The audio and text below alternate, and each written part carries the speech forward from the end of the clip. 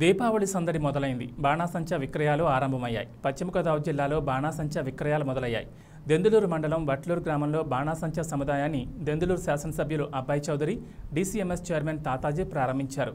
ప్రజలు కరోనా సంక్షోభం నుంచి బయటపడి సంతోషంగా దీపావళి వేడుకలు జరుపుకోవాలని కాంక్షించారు. ముఖ్యంగా ఈరోజు దీపావళి వస్తుంది తప్పకుండా మన చిన్నారులందరూ కూడా దీపావళి సామాను కొనుక్కోవాలని అందరూ కూడా ఉంటారు.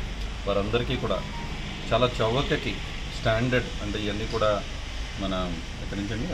శివకాశి నుంచి తీసుకువచ్చి ఒక స్టాండర్డ్తో అన్ని మెయింటైన్ చేస్తూ ఇక్కడ ఈరోజు దీపావళి సామాన్ అమ్ముతూ ఉన్నారు. ఇక్కడ కాకపోవచ్చు మనం చూస్తే ఒక పెట్టి నేనే చూసాను పదిహేడు రూపాయలు ఉంది బయట అయితే యాభై రూపాయలు.